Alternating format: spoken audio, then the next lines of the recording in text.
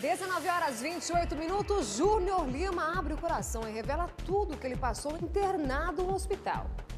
Recentemente, Júnior Lima foi parar no hospital por conta de um cálculo renal. E o TV Fama encontrou com ele em um evento aqui em São Paulo e perguntou como anda o estado de saúde do músico.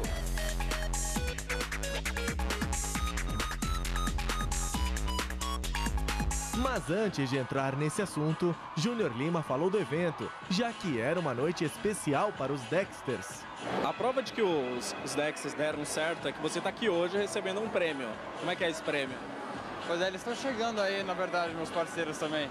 É, é de melhor música jovem, né? E, e pô, muito legal ver um projeto de música eletrônica tendo esse tipo de reconhecimento por parte do público que votou aí em casa, pela internet e tal. Incrível.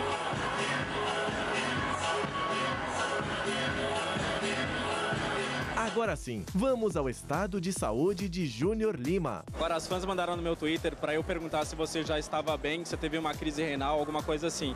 Você está bem de saúde, já retomou os shows? Já, tá tudo certo. Graças a Deus, estou zerado, já saiu tudo que tinha que sair. Eu tava com cálculo dos, dos dois lados, era uma situação meio delicada, mas já, já me livrei disso tudo.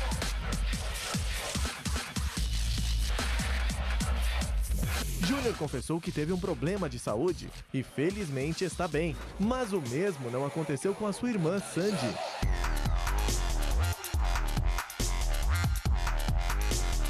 Não entendeu nada? O TV Fama te explica. Recentemente saiu na mídia uma nota de que Sandy, irmã do cantor, estaria passando por um problema nas cordas vocais e talvez tivesse que interromper sua turnê.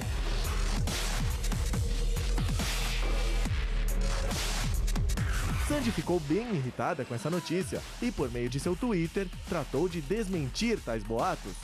Impressionante aonde chega a criatividade de um repórter. Eu não tenho um problema sério nas cordas vocais e não vou parar de cantar.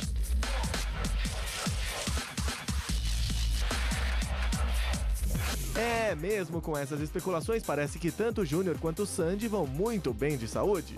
E para não perder o costume, vamos falar de Júnior e sua namorada. O casamento te pressionam tanto quanto, quanto a casamento?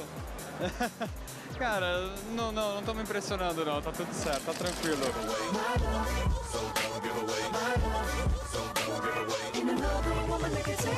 In